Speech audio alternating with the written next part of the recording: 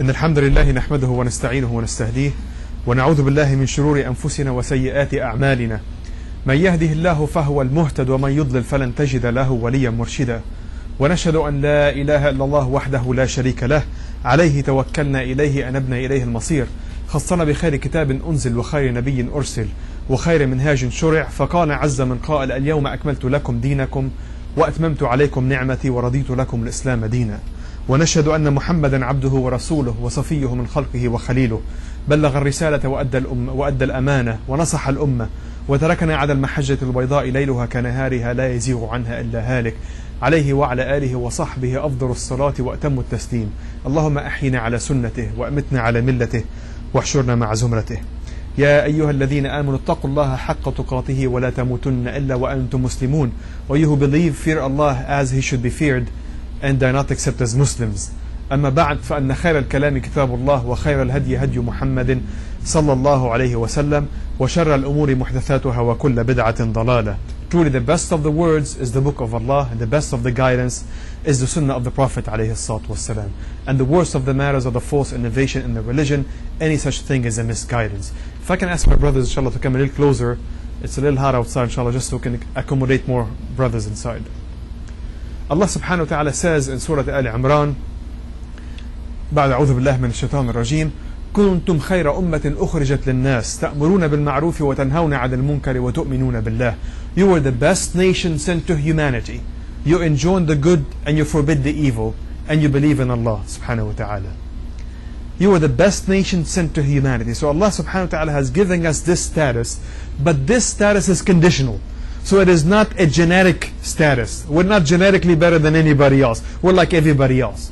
We're not inherently better than anybody else, but there are certain conditions. If we meet them, then we will be that, we will have that status that Allah subhanahu wa ta'ala has told us about. He says, you enjoin the good and you forbid the evil and you believe in Allah subhanahu wa ta'ala. So the belief is basic. It has to be there. But after that, that belief has to translate into something. I cannot say that I believe in Allah subhanahu wa ta'ala and keeping that to myself what value would I have to humanity? When Allah says you are the best nation sent to humanity, so my belief has to translate into something that will be of benefit to humanity. Otherwise, I will not be better to humanity than anybody else. And Allah subhanahu wa ta'ala says you enjoin the good and you forbid the evil. So there's an action that is involved. That belief has to translate into something. I see something wrong, I speak against it. I see something really good, I encourage it. I help with that. And the Prophet ﷺ, if I see anything wrong in the streets, I will remove that. And that's part of my belief. If I'm driving on the freeway and I see something that could harm anybody else, I will call 911 and I will report it. And that's part of my belief. Listen to what the Prophet ﷺ says. He says, الإيمان بضع وسبعون شعبة أعلاه قول لا إله إلا الله وأدناه إماطة الأذى الأذى عن الطريق والحياء شعبة من شعب شعبة من شعب الإيمان. He says, Iman is 70 some parts the highest of which is to believe in the oneness of God, and the lowest of which is to remove harm from people's way, all people. So removing harm from people's way is part of our belief. That's why that belief has to translate into a benefit. When Allah subhanahu wa ta'ala said to the Prophet Muhammad alayhi salatu wasalam, وَمَا أَرْسَلْنَاكَ إِلَّا رَحْمَةً لِلْعَالَمِينَ We have sent you as a mercy to all the words, not just the, of course, not just the Muslims, and not just the humans, but all the words. A mercy to the animals, a mercy to the plants, a mercy to the environment, to everything else. Now, obviously, that has to translate into action. If I keep it to myself, how would that be a mercy to the others? Unless I translate it into something. But subhanAllah, sometimes we find some excuses and some justifications for not doing what we're supposed to do, for not getting involved. There are certain tricks that we play sometimes on ourselves for not doing so. Inshallah, I'll be covering some of them today, and then the next khutbah I'll be covering some more. One of them, and this is a question, subhanAllah, I always ask myself, by looking at my own behavior, by the way, and then the other people's behavior, as to why sometimes do we not implement what we learn? We hear lectures and we read certain things and we learn about certain things and we know that doing these things is against Islam or doing such thing is not too Islamic. You know, when it comes to dealing, especially with the opposite gender, when it comes to uh, acting in certain ways, you know, and, and we know what's right and we know what's wrong, but sometimes we don't follow. So the question is, why do we not do that? Well, I ask yourself that question. Of course, each person has a different reason, maybe. But there are certain reasons that in a way are universal, across the board, that Allah subhanahu wa ta'ala told us about. Allah subhanahu wa ta'ala sometimes tells us about our own reality, certain things that we, not, we may not know. And then when you read them, Allah, that makes sense. Of course, the one who created is the one who legislated. So Allah subhanahu wa ta'ala sometimes uncovers our own justification. There's a great verse that Allah subhanahu wa ta'ala says, I was reading, subhanAllah, just pondering about that. Yes, yes, that applies to me and probably some other people as well. Allah subhanahu wa ta'ala says, ليس بأمانيكم ولا بأماني أهل الكتاب من يعمل سوءا يجزى به It is not what you wish or what the people of the book wish. Whoever does something bad, he will be punished for it. Now I was thinking, why did Allah say, Allah's talking to me? Why did Allah mention the people of the book? It is not what you wish and what the people of the book wish. Anyone who does bad or does wrong, he will be punished for it. Now, what do the people of the book think? The people of the book, the Christians and the Jews. If you look at the Christians, what they think is that you can do whatever you want so long as you believe in the blood of Christ, then you're saved. And the Jews, of course, they think that they're the chosen people. They can do whatever they want and get away with it. How is that connected to what we do sometimes? You know, sometimes we think in a similar way. Is that so long as I'm a Muslim, everything is forgiven in advance in a way. Or so long as I have that belief, Allah will forgive me. Now it is good to think positive of Allah subhanahu wa ta'ala because the Prophet says, the hadith Qudsi that أنا عند ظن عبدي بي that whatever my servant thinks of me I will be that but not to stretch it too far because that's really what the, the other nations will do that's what the other nations do in a, in a way they think that we can do sin left and right so long as we believe in the blood of Christ that's fine everything will be forgiven in advance or so long as we are the chosen people because we're better than anybody else Allah says كنتم خير أمة أخرجت للناس right so we're better than anybody else, so we can get away with it. Yes, but Allah has put conditions. That's why after Allah subhanahu wa ta'ala says, it is not what you wish, that's what I wish. I wish that everything will be forgiven in advance, and I take Allah for granted. Allah subhanahu wa ta'ala says at the end of the verse, مَنْ يَعْمَلْ سُوءًا يُجْزَ بِهِ Anyone who does anything wrong, anything evil will be punished for it. So things, there'll be accountability, there'll be punishment in there. It is not just things that I wish for, just because, wallahi, I'm, I come from a certain background, or just because I'm a Muslim, everything is forgiven to me in advance. No, that's not true. No, Allah is the all-forgiving. وَنَبِّ عِبَادِي أَنِّي أَنَا الْغَفُورُ الرَّحِيمُ Tell my servant that I'm the all-forgiving and the all-merciful. وَأَنَّ عَذَابِي هُوَ الْعَذَابُ الْأَلِيمُ And my punishment is the most painful of punishments. Again, not to go to the other extreme, but a lot of time we take things lightly and we take Allah subhanahu wa ta'ala for granted. So sometimes this is one of the tricks that we play on ourselves into in a way thinking that, well, I'm different. I'm above. Wallah, I'm not different than anybody else. Allah says there are certain conditions. If I meet them, then I will be above the others. If I don't meet them, then I will not be above the others. What makes me better than anybody else? It is only the belief that I carry. So this is sometimes one of the tricks that we play on ourselves at the personal level. There's another trick that sometimes we play for not getting involved is the excessive humbleness, so to speak. You know, humbleness is great. And the Prophet والسلام, says that لا يدخل الجنة من قال كان في قلبه مثقال ذرة من كبر that he who has a trace of arrogance in his heart will not enter al-Jannah. That's what the Prophet says. That's scary, wallahi. But sometimes we go to the other extreme, into excessive humbleness. Uh, brother, we need somebody to help. Wallahi, I'm not good enough. Pick somebody else. somebody has to do it. Humbleness is good. But when it comes too much, it becomes paralyzing. Now, who are the most humble people? The prophets, alayhim salam. But Yusuf alayhi salam, Joseph, in Surah Yusuf, Allah subhanahu wa ta'ala says that Yusuf himself says, اجعلني على خزائن الأرض إني حفيظ عليم. Put me in charge of the treasury. I'm capable and I can do the good job. It doesn't mean he was arrogant. He's praising himself. No, no. He took that as a base actually for doing some action. That's why excessive humbleness can be paralyzing. We have to be humble. That's what the Prophet says, alayhi salatu wasalam. But when that humbleness gets in the way, that means it's too much. You have too much of it. And sometimes, by the way, it's an excuse for not getting involved. We need somebody that helps with the masjid, somebody that teaches with the Sunday school. Wallahi, I'm not good enough. He's better. Yes, he's better and he's doing something else. You know, we want you as well to roll up your sleeve and to come and help us as well. The second thing that we do sometimes for not implementing or for not getting involved is exaggerated fear or exaggerated unfounded fear. We fear something, we fear someone. Why does the sister not wear hijab? Because she will not get a job otherwise. You know, why does the brother not help? Because somebody will discriminate it against, will discriminate against. So he changes his name into something else and he will not do certain things. Why don't you help? Well, somebody might be listening. The you know who, right? They'll be listening. The FBI will be listening. They're recording. Wallahi, you know what? You may not be that important, by the way. But sometimes, and wallahi, let them listen. Subhanallah. Yeah, and Allah subhanahu wa ta'ala sent the message to Fir'aun, right? He sent Musa and Harun فَقُولَ لَهُ قَوْلًا لَيِّنًا لَعَلَّهُ يَتَذَكَّرُ أَوْ يَخْشَى Say nice words to them, to, to the Fir'aun. So the message was sent to them as well. This message that we have was sent to them. Wallahi, let them listen. Maybe they'll develop some God consciousness which they need very badly and they can benefit from. Let them listen to that. This is a benefit to everybody else. And we fear so many things the job, the lack of job, the lack of oppression, all of that. Well, what about Allah subhanahu wa ta'ala? Is the support of Allah anywhere in that equation? What I'm fearing everybody else, but what about the fear of Allah subhanahu wa ta'ala? Do I take that into consideration, or this is something that is left at the end? We became we became excessive planners, so to speak. We plan everything excessively, up to the point that we forgot the most important thing out of the equation, which is the support of Allah subhanahu wa ta'ala. That we fear. Or sometimes we fear, you know, we fear mistakes. That if I do something, I will do wrong. Well, this is how you learn, you know. I mean, it's a process. We all learn. Nobody's infallible, except the Prophet Muhammad salatu. So if you're short of the Prophet Muhammad salatu and we all are, then you will commit mistakes. Don't expect perfection in getting involved.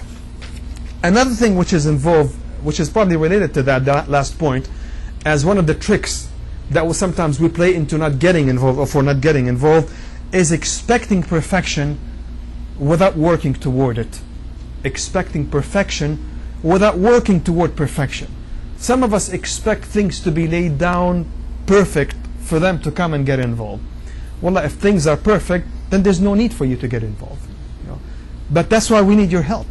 We need your help with the masjid, with the institutions that we have. We need you to be involved in that. And if you expect it to be perfect, then you have to contribute toward that perfection. Otherwise, things will never be perfect. At the time of the Prophet ﷺ, they were not perfect.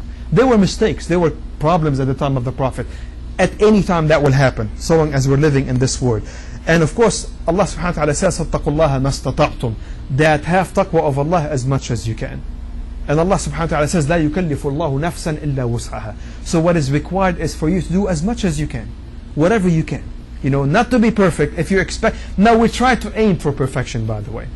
And we try to do things in the best way. But if that's what we expect and nothing less than that, then we'll be disappointed all the time. So that's one of the tricks sometimes we play is expecting perfection. And there's nothing wrong with expecting perfection, but expecting perfection without working toward that perfection, doing something toward that. Another thing, which is another trick that we play, is uh, how should I say it? A feeling of contentment, uh, deceived contentment, so to speak. And sometimes we're satisfied with the present situation. And in both cases, by the way, this is the opposite of the previous trick. And in both cases, in a way, we're using these as an excuse for not getting involved. So the first group is saying that things are not perfect, you know, things are problematic, I'm not going to get involved. This one is saying that everything is nice and rosy, there's no need for me to be involved. And at the end, the result is one, is there's no need for me to be involved. Sometimes we try to exaggerate the good into, in a way, portraying a perfect situation where there's nothing need to, you know, nothing, nothing, nothing, nothing is wrong. Yeah, why you're making such a big deal out of it? Look at that. Everything is going nice. Look how many people we have, alhamdulillah, today in this room. That's a lot of Muslims. But you know how many Muslims are outside this room? And I'm not talking about outside, praying outside. I'm talking, you know, about outside the masjid. That's why you can look at this and think, well, this is great. That's a lot of people, alhamdulillah. And this is great. We thank Allah for that. But you know how many people are there outside the masjid that don't even come to Jumu'ah? That's why you don't want to exaggerate that. And you know what? Each person has something to contribute. There's something that you can do. Because there are certain people that you can reach that I don't know about. There are certain people that you can help that others actually cannot see. So each person has something to offer. But sometimes we find excuses in a way saying that it's, it's impossible, it's an impossible situation, or it's too good. You know, there's a statement they say that some people will say that the problems of the Muslim community today here are the results of the previous generation. And the one who will solve it is the next generation. So in other words, I might be doing good enough by sitting and waiting for the next generation to come. You know, just I'm a transitional period. Well, if I don't do anything to, pre to prepare the next generation, it's going to be a repetition of the present situation generation, if not even worse. That's why there's a role to be played in that. Somebody has to contribute to make a difference. Otherwise, changes will not happen on their own. Somebody has to lead the change. And it is good for that to be you and me, wallahi. Because this way we'll be setting precedents and we'll be anyway harvesting the biggest reward from Allah subhanahu wa ta'ala. Because the Prophet ﷺ says anyone that starts a good precedence, he will have its reward and the reward of anyone that follows its course afterward. But somebody has to start And somebody must start. And if we're talking about ourselves being the best nation sent to humanity, it is this that will make us the best nation sent to humanity. أقول قولي هذا واستغفر الله لي ولكم فاستغفروه إنه الغفور الرحيم.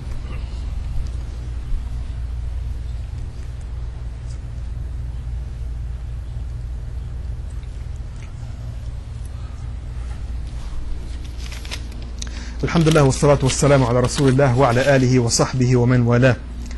I'm moving quickly so there will not be anything left for the next khutbah, but that's good inshallah, it's of benefit. Uh, the last trick that we give sometimes or we play on ourselves for not being involved or doing what we have to do is blaming others, blaming somebody. You know, people like others to carry the burden of their own mistakes. That it's because of them. It's because of, you know, the kids do that by the way, but guess what? The grown ups, they do that as well. Sometimes not as obvious, but we do it in a more sophisticated way that is not really as apparent as, as the kids will do it. Sometimes we blame the shaitan. Of course, the shaitan, right? you know, sometimes we say the shaitan is the one that made me do that. Well, let me tell you what Allah subhanahu wa ta'ala says about the shaitan. Allah says in Surah Ibrahim, this is what Allah says, so that's what the shaitan does.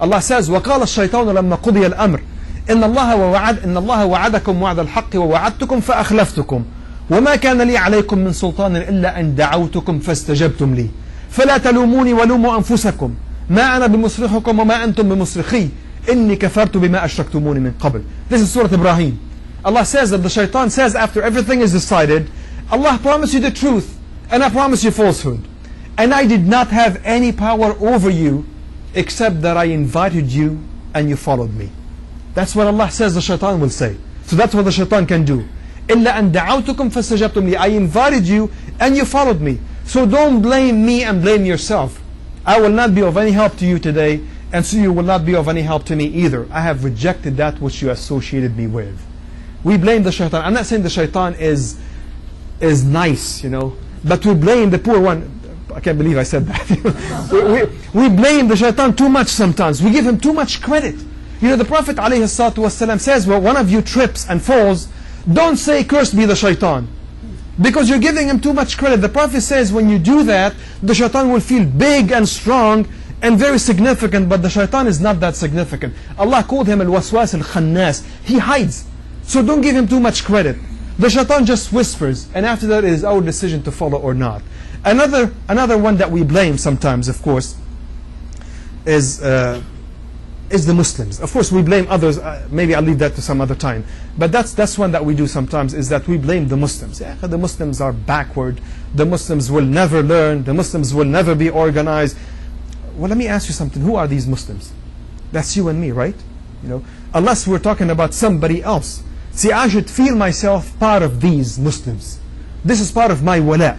I'm one of them. So if I'm talking about them in a negative way, I'm talking about myself or otherwise as if I'm feeling that I'm above all of the other Muslims and I sit there you know diagnosing problems and distributing responsibilities that's what people actually think and there's a great hadith by the Prophet ﷺ Wallah it's great to keep in mind he says the Prophet says من قال هلك القوم فهو أهلكهم anyone that says people are lost mean the ummah the Muslims anyone says that says that people are lost or doomed the Prophet says he's the one that is most lost among them He's the one that is most lost. There's another version of the hadith. من قال هلك القوم فهو أهلكهم. Anyone that says people are lost, he's the one that caused for them to be lost by that negative attitude. So when we're talking about the Muslims, it is us. And if you see any flaw, anything that is not done properly in the masjid, Wallahi, Jazakallah khair for seeing that. Roll up your sleeve and come and help me out. We need everybody's help. Nobody's above that. Because these things that we're talking about came down to every single Muslims. The Sharia did not come down to a select group of Muslims that they are entrusted to do all the job and I just sit and watch. You know, they will be uh, helping me or delivering for me and I just sit and receive whatever they give. Now, of course, there will always be people that will work hardest. But you want to be part of those people because those are the people that will have the most reward. Those are the people that will monopolize the goodness in this world and the hereafter. We ask Allah subhanahu wa ta'ala to make us among them and we ask Allah subhanahu wa ta'ala to give us perseverance in this life and in the hereafter. We ask Allah subhanahu wa ta'ala to help us recognize the truth and help us follow it and to help us recognize the evil and help us avoid it. We ask Allah subhanahu wa ta'ala to make the best of our deeds, the last ones that we do, and the best of our days, the day that we shall meet Him. إن الله أمرنا بأمر عميم بدأ بنفسه وثنى بملائكة قدسه فقال ولم يزل قائلا عليما حكيما أن الله وملائكته يصلون على النبي يا أيها الذين آمنوا صلوا عليه وسلموا تسليما. اللهم صل على محمد وعلى آل محمد كما صليت على إبراهيم وعلى آل إبراهيم وبارك اللهم على محمد وعلى آل محمد كما باركت على إبراهيم وعلى آل إبراهيم في العالمين إنك حميد مجيد. اللهم أعز الإسلام والمسلمين واعلي بفضلك كلمتي الحق والدين. اللهم من أراد بالمسلمين خيرا فوفقه إلى كل خير. ومن أراد بهم شرا فخذه أخذ عزيز مقتدر. اللهم يا واصل المنقطعين أوصلنا إليك. اللهم ولا تخزنا يوم العرض عليك. اللهم وارزقنا رضة النظر إلى وجهك الكريم. اللهم اغفر للمسلمين والمسلمات المؤمنين والمؤمنات الأحياء منهم والأموات. إنك سميع قريب مجيب الدعوات. وآخر دعوانا أن الحمد لله رب العالمين وأقم الصلاة.